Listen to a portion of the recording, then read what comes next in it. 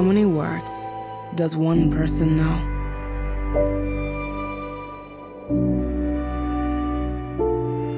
How many does he use in his everyday vocabulary?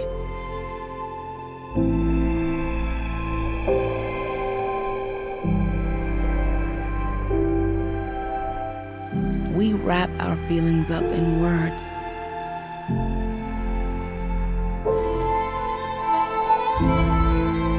We try to express in them sorrow and joy and any sort of emotion.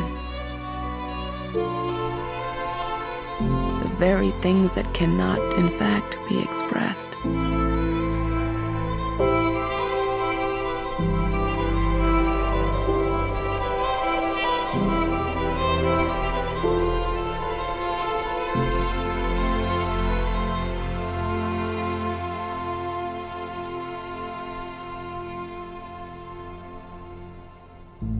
Romeo uttered beautiful words to Juliet.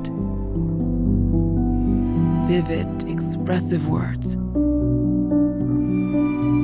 But surely they didn't say even half of what made his heart feel, as if it were ready to jump out of his chest and stopped him breathing.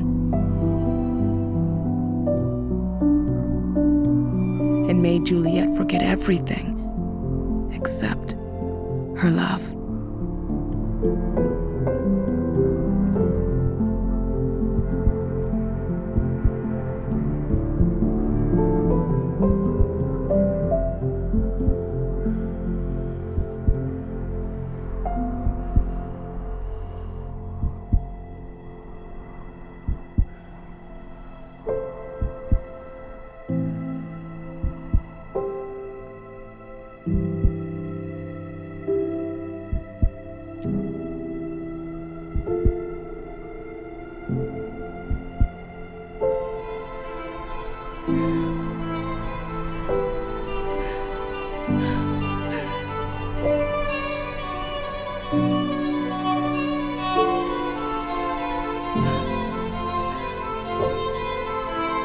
Bye.